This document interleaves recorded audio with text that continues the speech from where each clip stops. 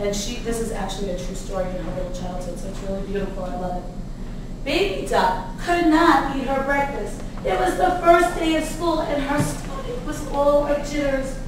Breakfast toast is very tasty, said Mrs. Duck. Won't you have a bite? No, Baby said. Breakfast juice is very juicy, said Mr. Duck. Won't you have a sip? No, said Baby Duck. No one sign language. Want to show me? No. No. Um, your sister, Hot is way too small to go to school, Mrs. Duck pointed out. She's not brave enough either. Aren't you glad to be the big and brave sister?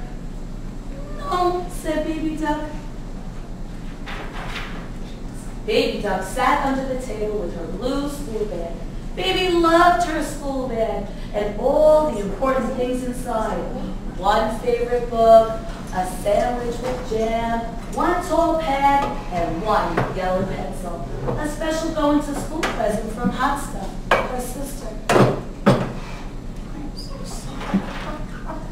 Button up your new school sweater, called Mrs. Duck. Hurry, baby. And baby buttoned. It took a long time. Buckle up your new school shoes, called Mr. Duck. Hurry, baby. And baby buckled. It took a. Mr. Duck looked at his watch. time to go, he cried. Mr. and Mrs. Duck bustled out the front door, swinging hot stuff in the air. Their feet crunched on dry. Come, they cried. School, glorious school. Baby Duck dragged behind. Goodbye, house, she whispered in the smallest, littlest voice. The Duck family waddled down the road. Hop to it, baby, called Mr. Duck. Baby could not hop. Her feet felt too heavy. Chin up, baby, called Mrs. Duck. Skip along. Baby could not skip. Her school bag was bumping, bumpity, bumpity. Baby's buckle popped open and now her shoe was flapping, flappity, flappity, flap. She having a good day? Mm, no. Calling all babies. Here I am. Grandpa was waiting on the bench. Baby sat right up close to Grandpa. Rough day, he whispered. Yes, said baby. Said baby said. Long walk, Grandpa whispered. Yes, said baby.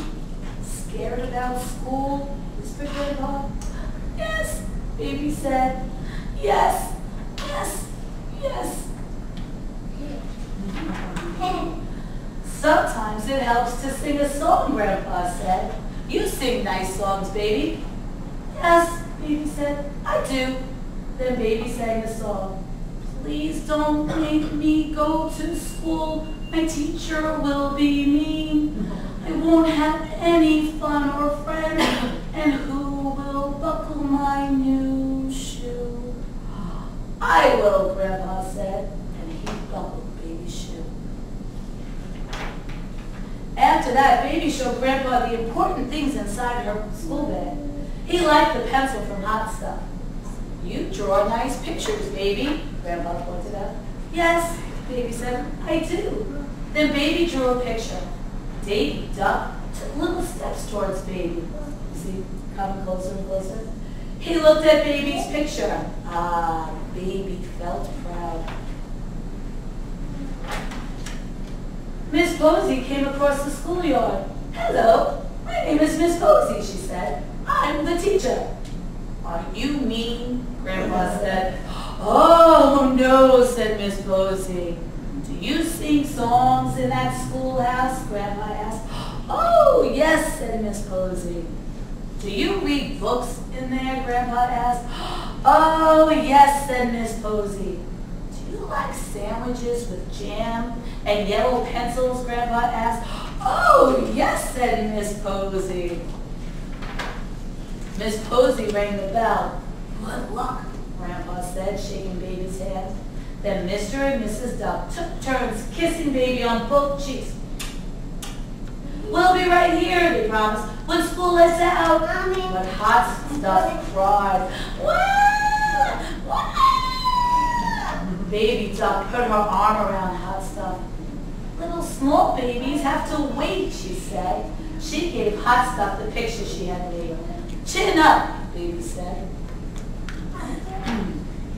Then Baby Duck hopped and skipped into the big schoolhouse with her new friend Davy Duck. She sang a pretty song. Her new best friend was little boy, and she sang this song.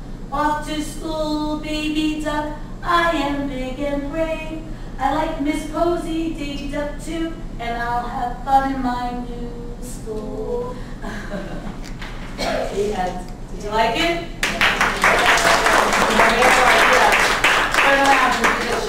This means I love you. See, this is I love you, Grandpa, and I love you, Grandma. Okay? All right, so we're going to start our project. So you're going to sit with who you came with. So look at okay.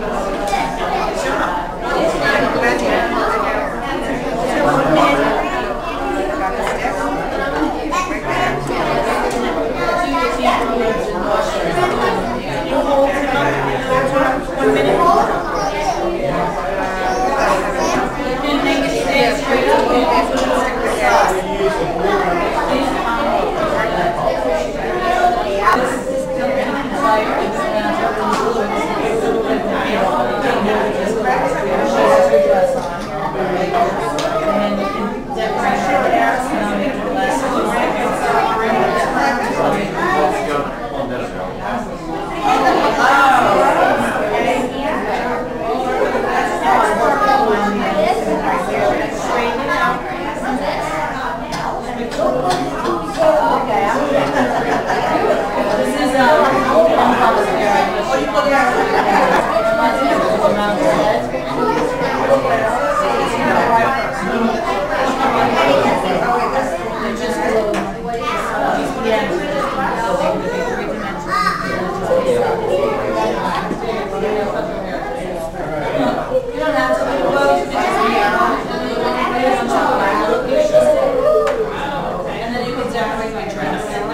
don't have to tie it.